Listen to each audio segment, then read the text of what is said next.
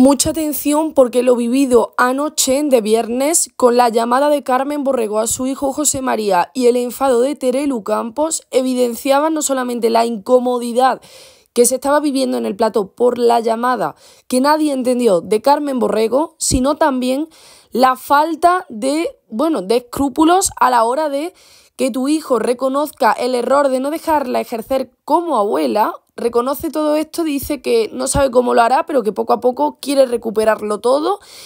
Y esta señora se dedica a llamar en directo y a liar la parda. Bueno, vamos a ir por partes porque lo de anoche fue movidito. Ya os digo que nadie daba un duro por esta entrevista. Todo el mundo creía que José María Almoguera se iba a sentar a hablar de un tema ya estando muy manido, que Terelu Campos, bueno, Terelu Campos la verdad ya no se sabía si estaba ejerciendo como directora del programa, como colaboradora, como coach personal, psicóloga, porque estaba en todos los fregados. Bueno, atención porque ayer la entrevista sorprendió, pero no sorprendió para mal porque José María Almoguera dijera no quiero saber nada de mi madre que también lo dijo, por cierto, sino más bien por ese intento de acercamiento, de acercar posturas, sobre todo por el menor que hay en medio, que es el nieto de Carmen. Pues bien, después de una entrevista en la que se habló de todo y en la que José María, además, acababa de decir que no sabía de qué forma lo iba a hacer, pero que Carmen Borrego contara con que iba a ver a su nieto a partir de ahora y que esto iba a servir de alguna manera para un intento de fraguar y de unir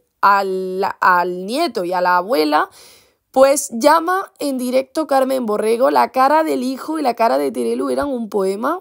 Estaban completamente avergonzados de lo que estaban viviendo y es que no me extraña, porque la llamada de Carmen, yo no sé la verdad en qué condiciones estaba Carmen, pero mucho sentido no tenía. Sacó a relucir a María Teresa Campos diciendo que si su madre eh, estuviera viendo desde el cielo todo esto, no se creería lo que el nieto había hecho. Bueno, voy a dejar con el audio porque las caras de Terelú y del propio José María evidenciaban no solamente la vergüenza que estaban pasando al escuchar a Carmen lo que estaban diciendo, sino que encima le cortaron rápido la entrevista, como diciendo, ande, señora, váyase usted ya a la cama, que yo creo que ya es bastante con lo que has dicho. Os voy a dejar con, con el audio porque es tremendo, fijaos. De madre, por decirlo de alguna manera, yo miro al cielo, veo a mi madre, eh, alucinaría por lo que estaría pasando esta noche. No lo entendería. Él ha sido el hombre de su vida, él es el hombre de mi vida, pero el hombre de mi vida no puede ser a cualquier precio. Eh, Carmen, yo creo que mm, eh, ya está, mamá no está y se acabó. Yo te agradecería que, bueno, yo creo que lo importante de, todo esto es que, es que José eh, ha reconocido su error con respecto a, ejercer tú de abuela y yo creo que deberías de quedarte eh, con eso que es lo que es eh, positivo y me parece que es un paso importante. me parece que es un paso importante, Carmen. Que yo no he ejercido de abuela porque no me han dejado, ¿eh?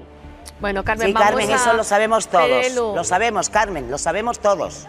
Ese José María ha reconocido ese error y ha hecho ese ha dicho que quiere cambio a partir de ahora. José y esperará, María. Y esperará, imagino, que ella también reconozca los errores que ha cometido. Claro, ha dicho que hay una conversación pendiente, yo creo que eso está claro, José María. ¿Hasta qué punto llegaría Carmen ayer en esa llamada que no tuvo sentido ninguno porque el hijo queriendo acercar postura y ella diciendo que no, que todavía tenían que hablar porque su madre María Teresa Campos estaría alucinando de ver esto. Señora, ¿qué tiene que ver María Teresa Campos, que lleva fallecida ya más de un año?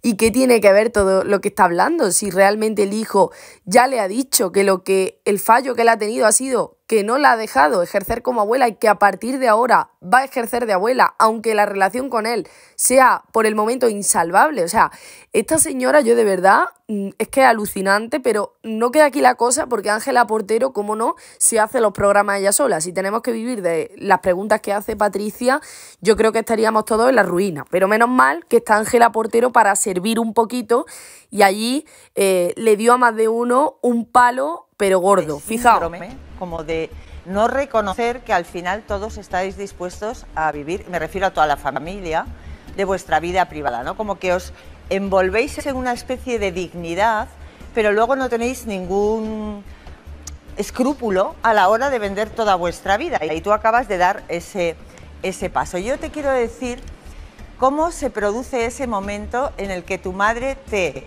convence para hacer una nos podrá gustar más o menos lo que le ha dicho, pero no podemos negar de que tiene toda la razón. O sea, eh, la familia entera parece que vienen, no sé, de los Borbones o vienen, no sé, de una familia de renombre, porque realmente ellos se comportan como si todo lo que venden no fuera malo. O sea, que me parece genial, que vendan lo que les dé la gana, porque al final esto es negocio y al final es un negocio para todo el mundo, pero que bueno, es lo que dice Ángela Portero, se envuelven como en un halo de dignidad, de no, yo no, yo, yo no voy a caer tan bajo y luego al final acaban todos comiendo de lo mismo.